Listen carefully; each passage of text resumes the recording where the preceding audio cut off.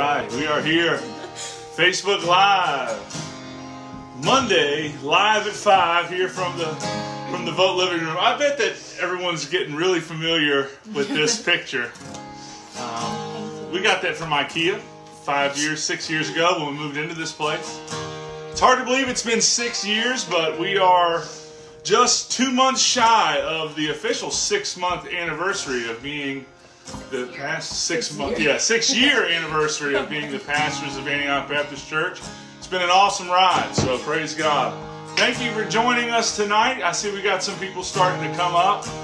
We're going to sing a, a new song. I don't know if we've ever, I don't think we've ever done this actually at Antioch before. This song is called a Waymaker. It's one of my favorites, and um, I just think it speaks so well to what's going on in our world right now. You know, we need to remember that our God is a way maker. He he can make a way where there is no way, and he does when he shows up. He changes things. He changes atmospheres, and he rebuilds broken lives and heals broken hearts. So he is the waymaker. If you know it, sing along. If you don't know it, then just you know just hum along, pray as we sing it. And I'll start off with a word of prayer.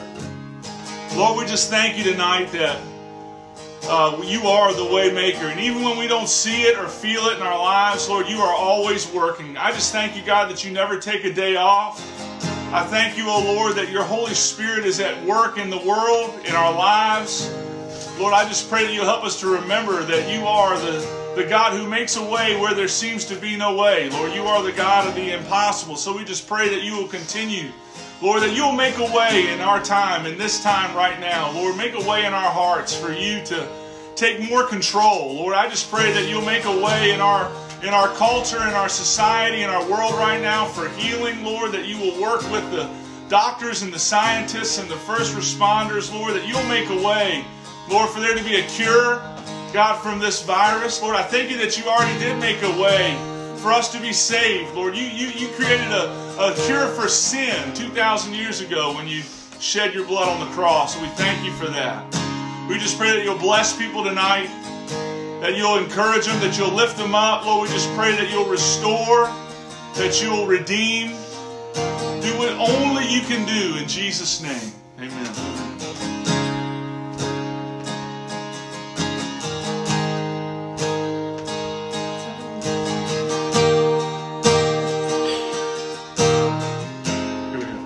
here.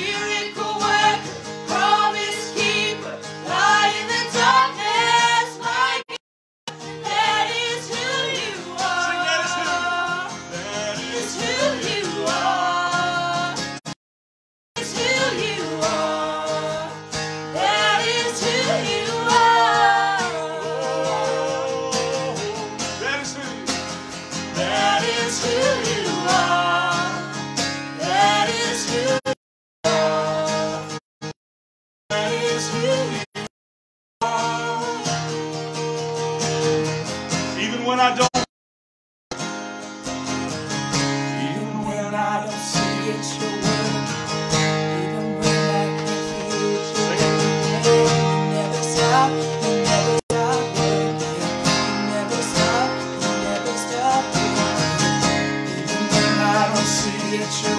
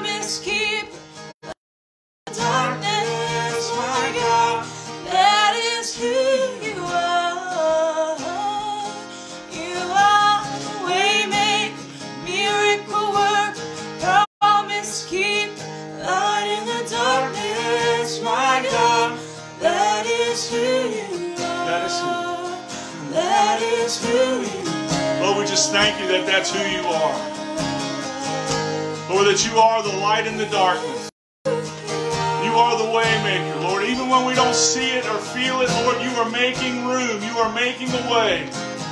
You have a plan. You're in control. We thank you for that tonight. Thank you that you have revealed your heart to us. You have revealed your, yourself to us, your love to us. Lord, help us to live in the light of what you've revealed. Help us to live in the light of your word, of your revelation, so that we can have wisdom and peace, joy and love, and every good and perfect thing that comes down from you, Lord.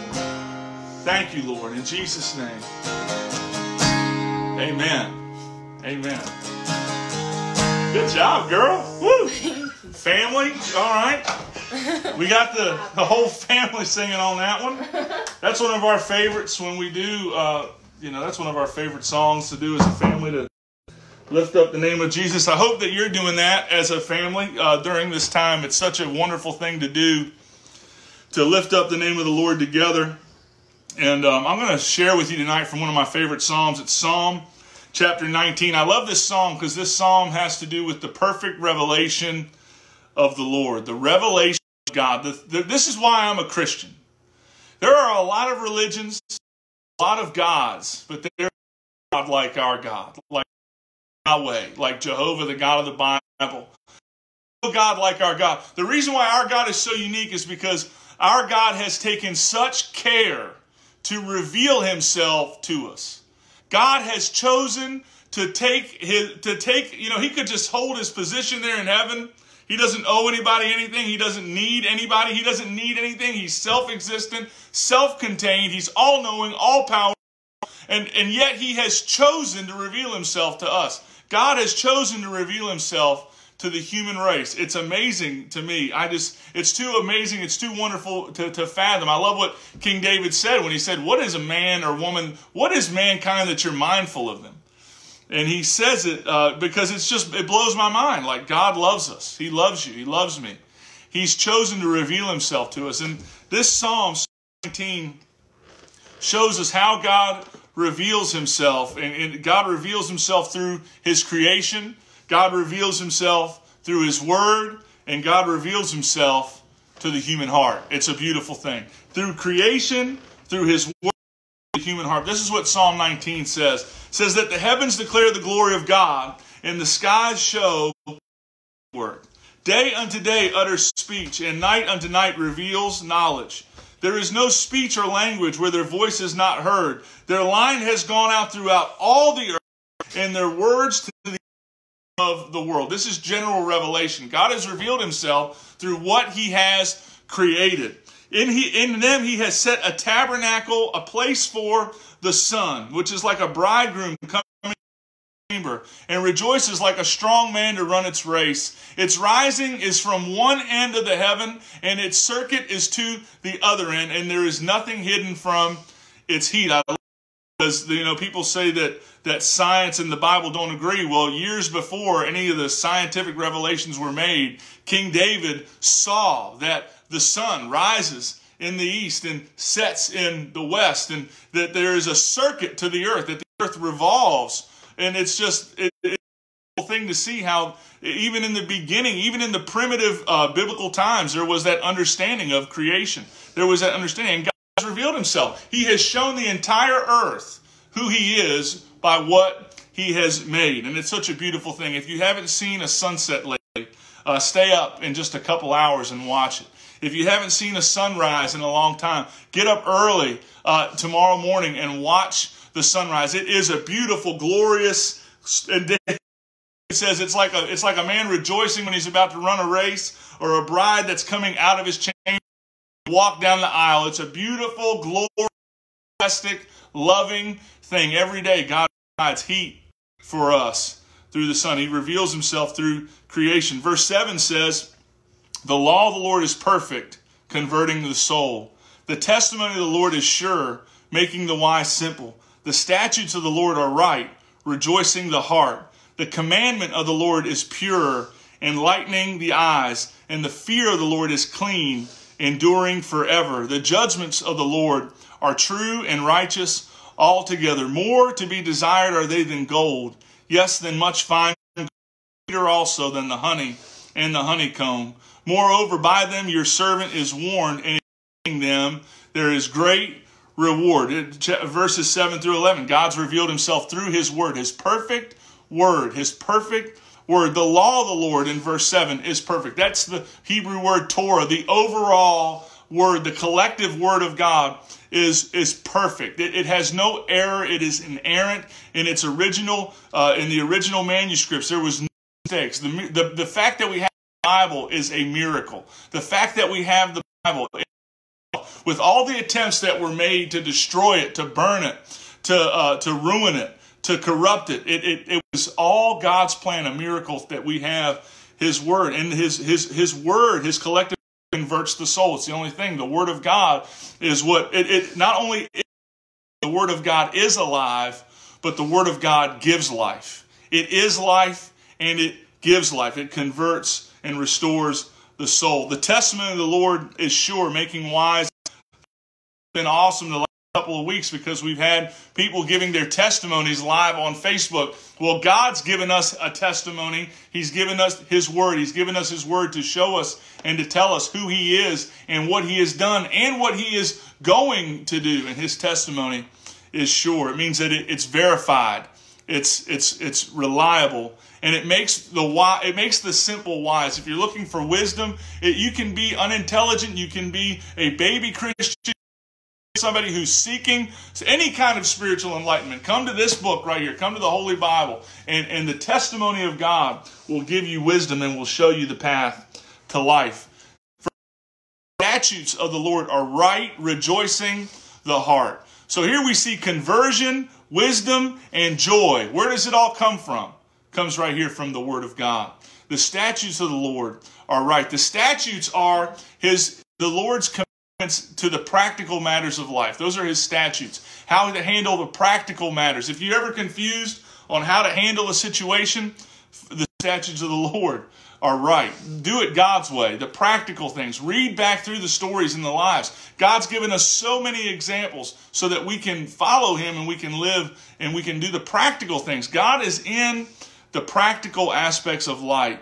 And when you and when you follow his statutes and the practical things, it brings joy, to the heart. The commandment of the Lord is pure, enlightening the eyes, bringing to the eyes. The command, the specific. This is commandment, the specific word of God to you.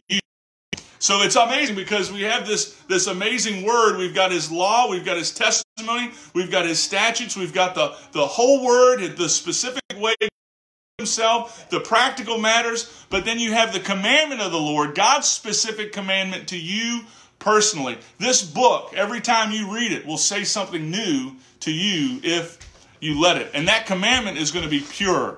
That commandment is always going to lead you down a pure path. It's always going to lead you down something that is going to bring light to the eyes. It's going to enlighten your mind. It's going to bring life to it. It's going to restore uh, truth and, and clarity and understanding.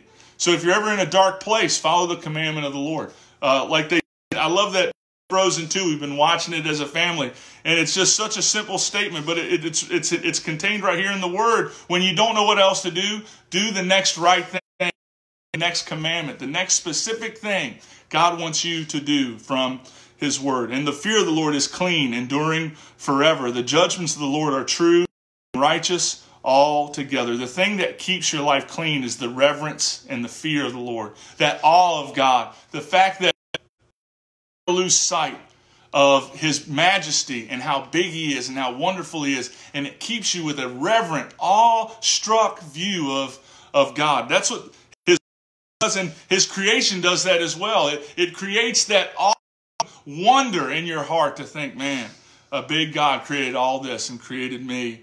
And, and that's how we, we live in the fear of the Lord is an awesome thing because the fear of the Lord sets us free from the fear of man. It sets us free from the fear of the world. It's, it's not being afraid of God. It's being awesome. It's being awestruck in his presence. That's what the fear of the Lord is. And it sets us free from every other kind of fear. It leads to really understanding the grace and the love of God. It's it's to be desired more than gold. This book. How bad do you want to know God's word? If your desire for the Bible isn't isn't greater than your desire for gold or treasure or earth, this is more valuable than any stimulus check. This is more valuable than any lottery winnings. More valuable than the nicest beach house on the nicest corner of the planet.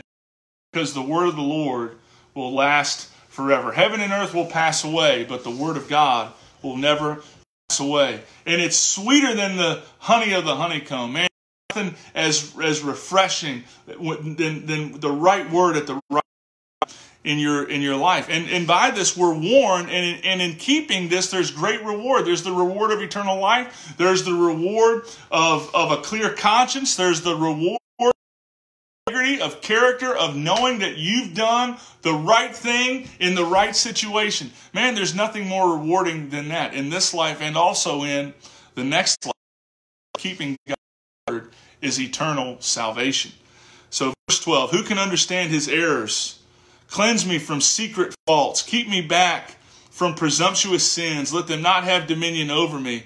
Then I shall be blameless and I shall be innocent of great transgression. Verse 14 Let the words of my mouth and the meditation of my heart be acceptable in your sight, O Lord, my rock and my redeemer. See, God reveals himself through creation, God reveals himself through his word, and God reveals himself to the human heart. See, when you have an encounter with the word of God, you see the sin that's in your life. It brings clarity to the areas of your life that you need to improve. It shows you the faults. And, and the thing is, is gives you an answer for that. It gives you a solution for that. It, it gives you a place to run to with guilt and with shame and with fear and with terror and with all the sins that you've ever committed. It gives you a place to run and be cleansed and freed from those things. Man, not, there's nothing better than standing in a court of law. And there's not going to be any better feeling than standing in the court of eternity and hearing not guilty because you've put your faith and your trust in Jesus Christ. This is what keeps us back. See, we have a hard time seeing our blind spots. We have a hard time seeing the areas that we stumble in. But God's Word is a lamp and a light and a mirror. It shows us those things not so that we can get them out of our life. See, God wants you to live up to the full potential that He's created that He's created for you. He wants you to be righteous and blameless in His sight. The only way anybody can do that is by His power, because we all, like sheep, have gone astray. We've all turned our own ways. We've all sinned and fallen short of God's glory. But He He prepared a way because He's the way maker. He prepared a way for us to be redeemed, and that's through Jesus Christ. And I love this verse 14. This is one of my life verses. I hope that you'll make it one of your life verses. Make it one of your prayers. Lord, let the words of my mouth, the things that I say, the things that I speak, our words have power. Our words can create atmospheres. Our words can create feelings. Our words can create mindsets. Our words are so powerful. Lord, let the words of my mouth and the meditations of my heart, whatever the meditations of your heart are, whatever you're pondering in your heart, your emotions, your thoughts, your feelings, whatever those things are, they are what generally uh, they are generally what create your words. So let the things that I say and let the motives and the meditations of my heart be acceptable in your sight, O Lord, my rock and my redeemer. Because if you get the right meditation and you get the right motive, uh, when you speak the words, what you'll see is the waymaker goes to work and makes way in your life. Lord, we want to be pleasing and acceptable in your sight. Lord, we know that you have a calling and a plan uh, for us. In your infinite wisdom and in your infinite sovereign plan for all of eternity, throughout all of history, Lord, you have carved out a place for each and every one of us. Help us, oh God, to acknowledge what you've revealed about yourself. Lord, let it create awe, awestruck wonder in our hearts. Thank you for revealing yourself through your creation. Thank you for revealing yourself through your word. I thank you that your word is perfect. I thank you that your word is sure. I thank you that your word is right and pure and clean and true and righteous. And I thank you, oh God, that your word has been given to us. Oh, what a treasure we have. Lord, forgive us for so often neglecting your word. Help us to remember that you've given it to us so that we can be clean, so that we can be pure, so that we can be wise, so that we can rejoice, and so that we can have relationship with you. The reason why you've revealed yourself to us is because you desire a relationship with us. So, Lord, let the, med- let the words of our mouths and the meditations of our heart be pleasing in your sight. Lord, we know that if they are, that we have good things ahead. Even in uncertain times, we have certain hope because of Jesus. Lord, we're thankful. We're grateful. Please continue to watch over us tonight. In Jesus' name we pray. Amen. Amen. Get into this book. Go back. Great chapter of Scripture to meditate on, Psalm 19. Think about all the different ways this book can be applied and revealed in your heart and in your life. God bless you. Thank you so much for tuning in.